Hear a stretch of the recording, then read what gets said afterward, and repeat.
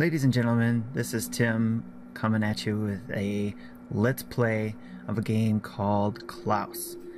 Klaus, created by La Cosa Entertainment and originally released in 2016 on the PS4, PS Vita, and Microsoft Store, is now available for the Nintendo Switch for $15 USD.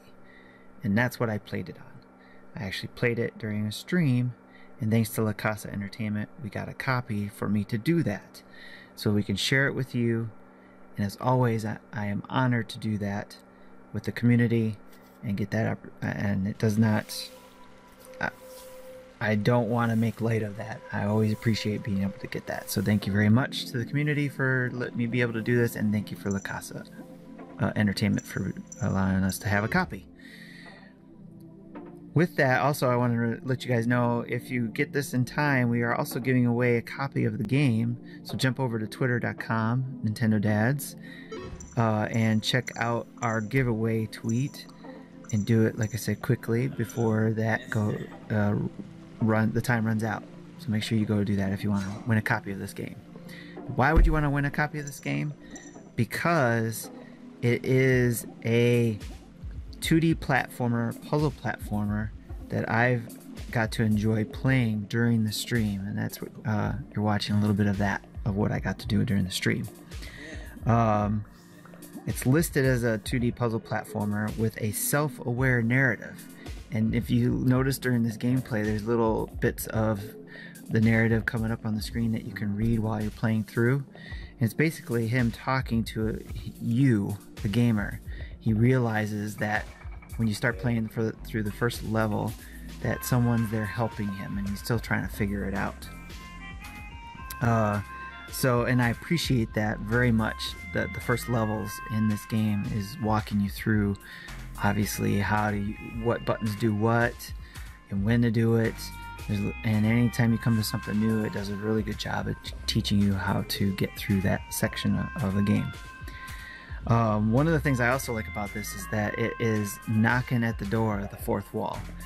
I haven't gotten quite far enough into the game yet to see how far it goes into that, but like I said, he's he's aware of someone helping him through these things and someone controlling some of these platforms, uh, the ones that you can hack and, and, that he hacks and then you control. Uh, Klaus, again, is the main character. He's the guy that you see running through the screen here. He is stuck in the basement of the structure that we find him in, but he's lost his memory. So he's piecing it together as you guide him through this basement, as you make your way up or down through the levels. And the, the game does it, like I said, it does a great job of teaching you how to do these things. Like, uh, it, it like in this situation, you're using ZR to point to a platform that you can control and move. And here, Klaus is taking control or hacking a system that he remembers how to do so that pl- other platforms turn on. Uh, this platform was blocking the way to go down, so you had to turn it on. So it wasn't a choice yet to make in should you turn it on or turn it off. So, but you basically get through each section of the basement and you move on to the next section with new things to learn about what you can do. Uh, one of the things you can saw there too is, and I sped that up, is that there is a large amount of load times there, a long load times for each section. I sped it up so we could get through it and move on to the next level, but uh, when you're actually playing it, I noticed it was longer than usual for this type of game. Not sure why. Uh, I don't know if it's just a Switch thing or whatever, maybe they'll patch it eventually. But um, um, yeah, it's it's there just to warn you. There is a low time between sections, but when you're in the platform, when you're in the game, there's no there's nothing else affecting the gameplay, which I appreciate. One of the other things I noticed here too is that when I was explaining this game to my daughter, because she asked about it when I was just finishing up the stream, was what's it like? And I said, well, it's a 2D platformer. It takes some elements of obviously a platform. We all think of Mario. So one of the things that I associated to Mario in this game was the this secret thing or orb that you find that sends you to another part of the basement kind of reminded me of the warp pipe that you would go down and get to to get more coins in the underground part of Mario, Super Mario. So in this case, there's two different situations. This is the first, this is the second time I've hit this situation where I found this orb and go into the secret area. In this case, I have uh, myself on the top and my shadow on the bottom is what I'm associating it to. That you are guiding through to get through these uh, through this section. So you have to time it right. You gotta be running at the same time, line them up right, and get through the game, uh, or get through the section. Otherwise, you get killed on the top, or you can get killed on the bottom. So I thought that was pretty cool element. And then the first time I ran into this, uh, it was a little bit different, where I could only move left through the game, uh, through the section. Uh, so I had to use platforms to help push me back to the right side of the board uh, and hack certain things to make my way up the board. I could jump and I could move left, but that's all I could do, which was an interesting mechanic and helped change things up.